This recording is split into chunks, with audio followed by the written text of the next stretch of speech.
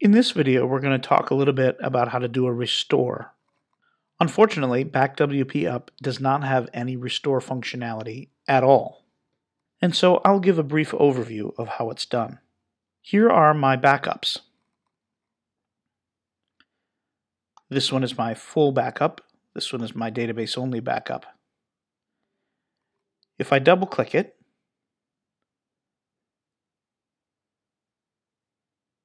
it opens right up. If you're in Windows, you'll need a special utility to open up BZ2 files, but there are plenty of them and they're free. Now inside this folder is my complete website. Here's a readme.txt,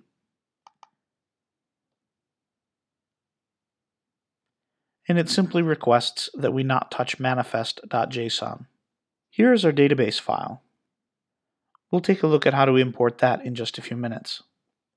We have a txt file here that is a list of our active plugins. And then we have here our XML file. You probably don't want to use the XML file because you have a database backup right here. All of these other files are simply your WordPress site. So you would use an FTP client to put those on your server. What's left then is to import your database. The process for this is going to be different based on your host.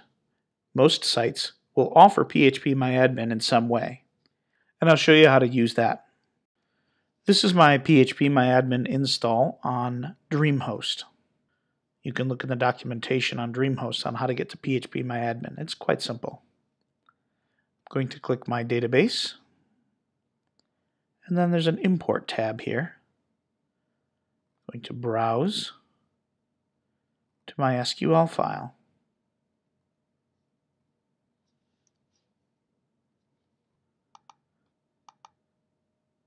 And it's right here. And now I hit go. There, my import has been successfully finished.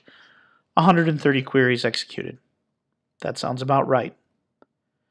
So, assuming you uploaded your files with FTP, and your SQL file with phpMyAdmin, you would be all back and working.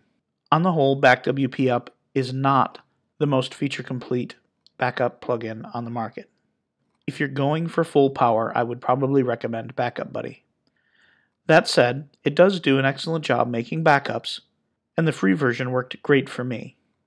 So if your budget is paramount, I do recommend you use BackWPup to make backups.